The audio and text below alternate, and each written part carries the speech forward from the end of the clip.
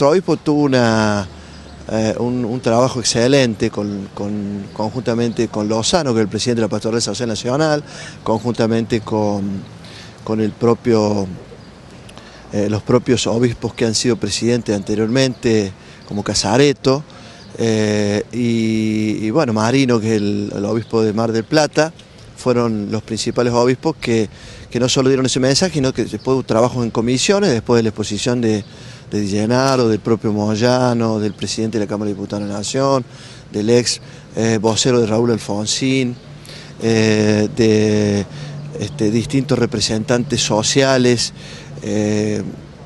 y bueno, creo que después de cada una de esas exposiciones hubo trabajo en comisiones y fueron surgiendo documentos de la propia comunidad participando con la iglesia y lo que se observó fue esta necesidad de comprometerse para, para poder elevar la calidad institucional, que cuando uno habla de la calidad institucional por ahí tenemos la sensación de que es algo que está muy lejos, pero trabajar con mucha efectividad en la calidad institucional implica comprometerse con el que menos tiene, para que pueda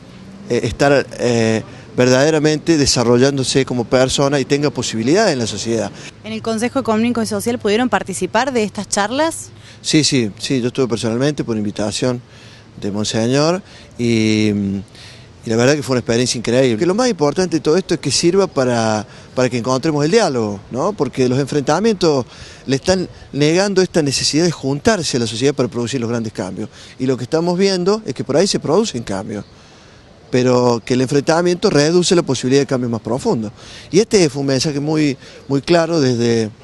desde eh, lo que se vivió en la pastoral social y me parece trascendental, porque nosotros por ahí perdemos esta visión, ¿no? esta visión de que el diálogo, que es lo que el Consejo Económico y Social promueve, el entendimiento, abre las puertas de otros recursos para resolver los grandes problemas de la sociedad. Bueno, en Río Cuarto hemos encontrado este camino desde aquella convocatoria del Intendente Llure en adelante, en estos nueve meses hemos podido ver que cuando menos nos enfrentamos, mejores resultados tenemos. ¿no?